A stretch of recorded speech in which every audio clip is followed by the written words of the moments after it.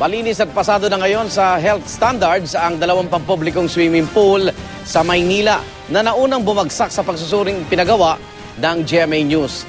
Pero, meron pa rin pong public swimming pool na malabo pa rin ang tubig at sinisisi ito sa mga pasaway na swimmer. Nakatutok si Cara David. Para makapasok ka sa swimming pool ng Tondo Sports Complex, kailangan mong dumaan sa palikuran ng mga lalaki at masangsang ang amoy ng palikurang ito. Bagong bukas ang public pool ng Tondo, bago ang tiles at may naka-install pang vacuum o filter.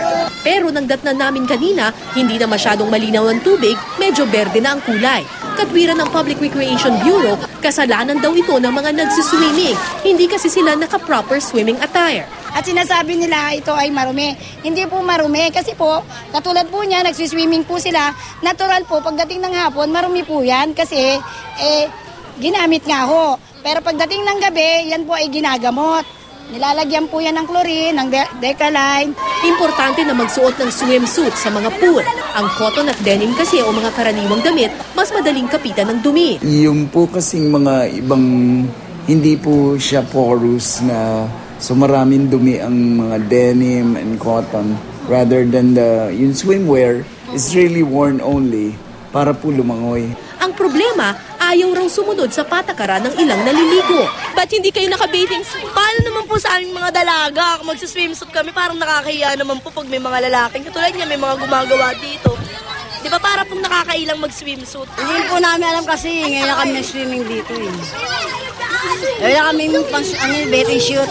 Dapat din mag-shower bago mag-swimming. Yun nga lang, ang shower area sa Tondo Sports Complex, may mga nakatambak pang labada. Under renovation pa raw kasi ito. Kanina, nang balikan naman namin ang Dapitan Sports Complex pool na unang pinasuri ng GMA News at nakitaan ang fecal coliform at iba pang bakterya, kapansin-pansin na mas malinaw na ang tubig sa pool. At ang mga naliligo, lahat naka-bathing suit. Sa shower area, hindi sapat na magbanlaw lang, pinagsasabon ang lahat. Ang Army-Navy pool na bumagsak din sa safety standards base sa pagsusuring ipinagawa ng GMA News. Ngayon, mas malinaw na ang tubig at ang mga naliligo naka-proper swimming attire na rin. Nung biyernes, nagsagawa ng sariling pagsusuri ang Manila Health Department sa swimming pool sa Army-Navy Club at Dapitan Sports Complex. Ang resulta, pasado na sa health standards ang dalawang swimming pool.